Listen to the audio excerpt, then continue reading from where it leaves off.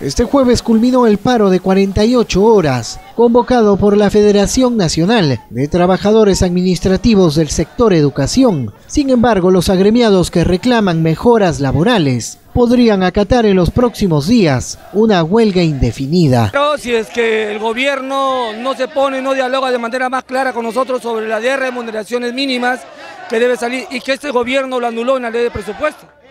Porque la 10 remuneraciones mínimas estuvo en la ley de presupuesto el año pasado, que lo dio Ollanta. Y este señor lo ha sacado.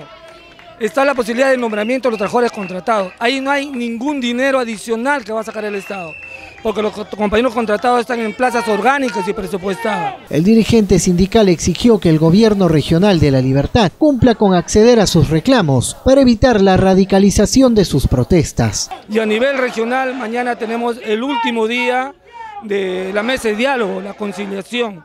Y pedimos al señor Valdés que de una vez interponga sus oficios para que se dé la solución. Salgamos en acuerdo en la mesa de diálogo del día de mañana, que es a las dos y media en el Ministerio de Trabajo. Los sindicalistas pidieron que el Consejo Regional apruebe una ordenanza regional para que no se apele los procesos que los trabajadores administrativos del sector educación han ganado en primera instancia por el derecho a sus beneficios laborales.